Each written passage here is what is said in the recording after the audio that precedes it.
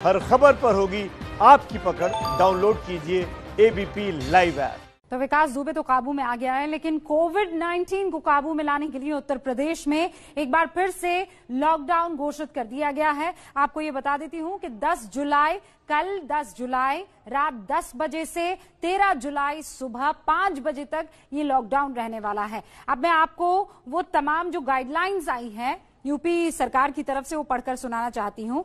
इस अवधि में संपूर्ण प्रदेश में समस्त कार्यालय एवं समस्त शहरी और ग्रामीण हाट, बाज़ार, गल्ला मंडी, व्यावसायिक प्रतिष्ठान बंद रहेंगे। इसी अवधि में समस्त आवश्यक सेवाएँ, यानी स्वास्थ्य और चिकित्सीय सेवाएँ और ज़रूरी सामान की आपूर्ति पूर्व की तरह खुली रहेंगी। सेवाओं में कार्यरत जो व्यक्ति हैं, चाहे वो कोरोना वॉरियर्स हो, चाहे वो स्वच्छता कर्मी हो, या फिर डोर स्टेप डिलीवरी से जुड़े लोग हैं, उनके आने जाने पर किसी तरह का कोई प्रतिबंध नहीं होगा। रेलवे के आवागमन में भी किसी तरह का कोई बदलाव नहीं है। पूर्व की भांति यथावत वो जारी रहेगा। रेल से आने वाले यात्रियों के आवागमन के लिए बकायदा अच्छा मैं मैं लॉकडाउन शब्द का इस्तेमाल कर रही थी। मैं चाहती हूँ कि इसे दुरुस्त किया जाए। ये प्रतिबंध है।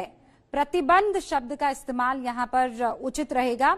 10 जुलाई से लेकर रात 10 बजे से 13 जुलाई सुबह 5 बजे तक प्रतिबंध रहने वाला उत्तर प्रदेश में, क्योंकि कोविड 19 हो या बाकी कम्युनिकेबल डिज़ीज़ यानी इंसेफेलाइटिस मलेरिया डेंगी और कालाजार इनसे बचाव के लिए ये प्रतिबंध लगाया गया है। बहरहाल आगे बढ़ती हूँ मैं। रेलवे के आवागमन में किसी तरह की कोई आ, चेंजेस नहीं है। रेलों से आने वाले यात्रियों के आवागमन हेतु आवश्यक बसों की जो व्यवस्था है वो यूपी राज्य सड़क परिवहन निगम द्वारा की जाएगी।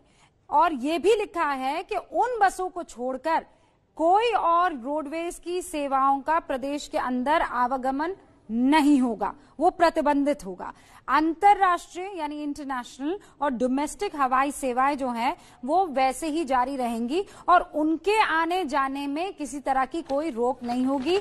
एक आखिरी पढ़ के सुना दू महत्वपूर्ण इस अवधि में, ग्रामीण क्षेत्र में स्थित औद्योगिक कारखाने जो है, वो खुले रहेंगे सोशल डिस्टेंसिंग के नियम के साथ।